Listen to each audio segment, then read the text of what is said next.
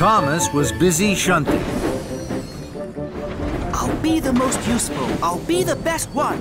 I'll huff and I'll puff till the job is well done. Then Thomas stopped. His firebox fizzed. Cinders and ashes. It's Diesel. And he's shunting the Jobi logs.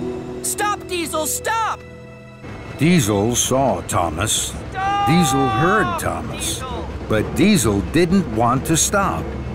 He wanted to push the Jobi logs to the rescue center as fast as he could clatter. Thomas was worried. Diesel is racing too fast. Something bad could happen to the Jobi logs. I must chase after Diesel and stop him.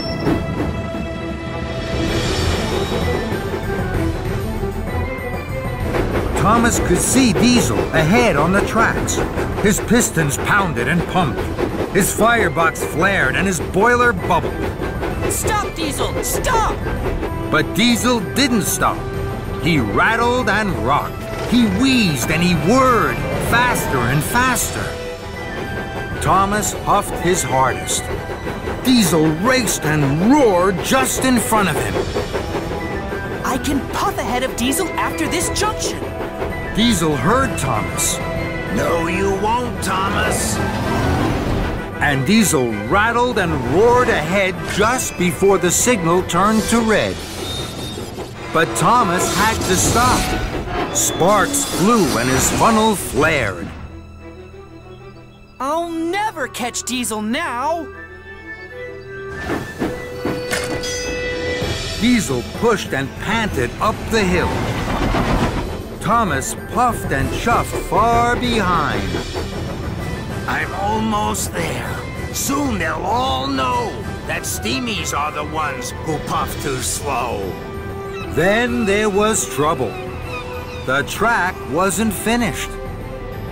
Diesel slipped and he skidded. Stop, Diesel! Stop! But Diesel didn't stop. He jumped and he bumped faster and faster to the top of the hill. And then down, down, down to the cliffs and the sea below. Now Diesel wanted to stop, but he couldn't. The heavy flatbeds were pulling him to the edge of the cliff. Diesel wasn't smiling now, Help! Help! but no one could help Diesel. Crash! One flatbed cracked its cover. The Jobi wood tumbled and rumbled into the sea below. Oh, me! Oh, my! Oh, help! Then, the next flatbed of Jobi logs crashed and smashed into the water. Diesel was now one flatbed away from the edge of the cliff. And then, the last coupling snapped. The last flatbed of Jobi wood sank from sight below the waves. Oh, no! Now, Diesel was half on and half off the edge of the cliff. His front wheels wobbled and wiggled in the air. His back wheels were grating and grinding to stay on the track. Thomas screeched to a stop. He was scared. Diesel! What can I do? Diesel didn't know. But Thomas did. He made a decision. Don't worry, Diesel, and stay as still as you can. Diesel did what Thomas said. Thomas tugged and he chugged. Then, wheel turn by wheel turn, huff by puff, Thomas pulled Diesel back from the edge and to safety.